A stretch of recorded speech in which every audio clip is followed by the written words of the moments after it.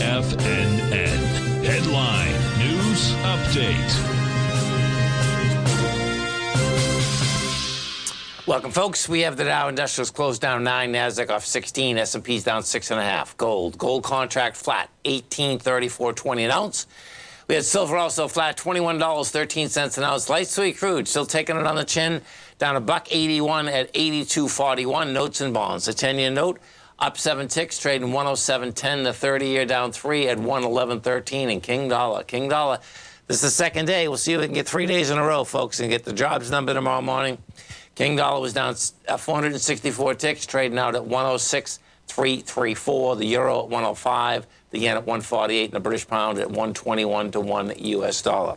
We get over and take a look at the uh, S&P first, and what you're looking at is this. You rejected lower price today at 421. You closed at 424. Not a bad setup. You know, we already got back to the 420. We go look at the SPY, I mean the NDX 100, the three Qs, same type of deal.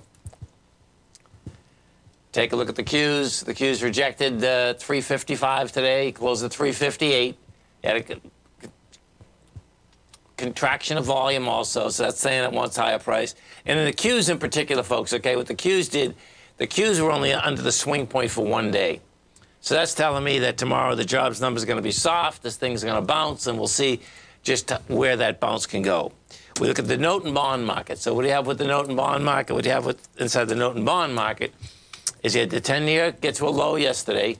You know, not much follow through today. We only get six ticks today. You know, you want to see wide price spread, but there will be wide price spread tomorrow. The real question is, is there going to be wide price spread on the way up or the way down? You know, if this jobs number soft, you're going to have wide price spread on the way up. And then let's get to the good old U.S. dollar because the dollar has been running this market for quite some time right now, since July. And this was the second time, second day rather.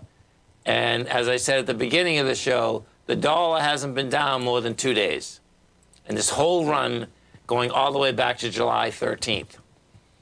That's the longest we've come down.